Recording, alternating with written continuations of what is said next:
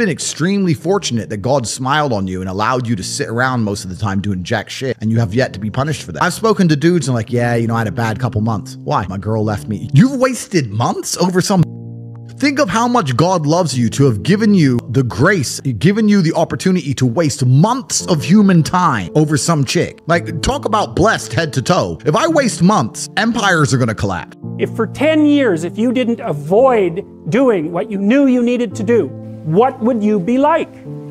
Because you're not everything you could be and you know it.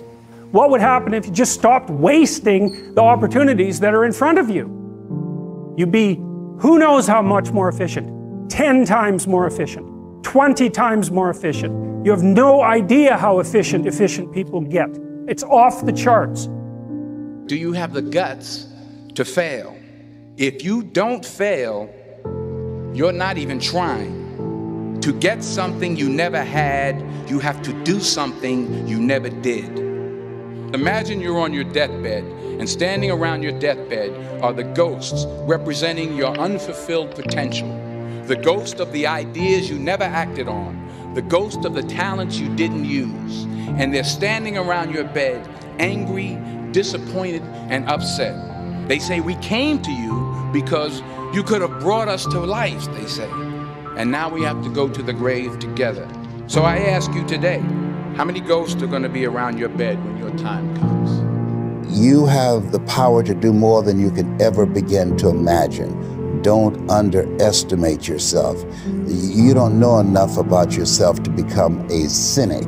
And so you've got to challenge yourself to access that power that you have within you. You're more than a conqueror. At the end of every day, you look yourself in the mirror and you ask yourself, did I get better today? If the answer is yes, and you do that for five years, 10 years, 15 years, how much better are you going to be? Are you getting better every single day? That's the question. And it's just taking small steps. You don't try to get it all done in one day, in one week, in one year. It's the process of getting better every day and doing that for a period of years that then create the masterpiece. Boy, I can tell bad times are right around the corner again.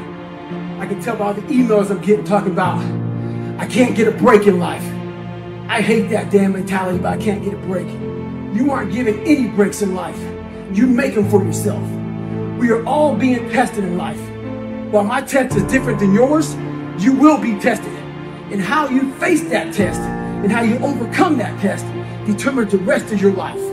The one mentality that you must have in life is that regardless of what's in front of you, you still must grind. I'll never be in the Olympics, I'll never be a professional athlete, but still I grind. I fail at most things I do, but still I grind. I don't want to do half the shit I do, but still I grind. And that one day, you see me down a dark alley, run at one o'clock in the morning, know one thing. I was grinding. Stay